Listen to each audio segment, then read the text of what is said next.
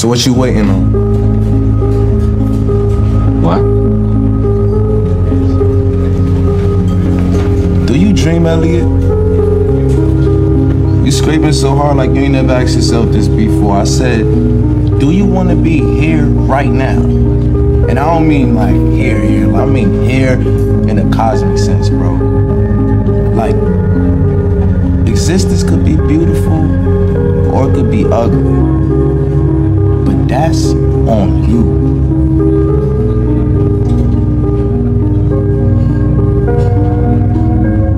How do I know which one's for me? dream.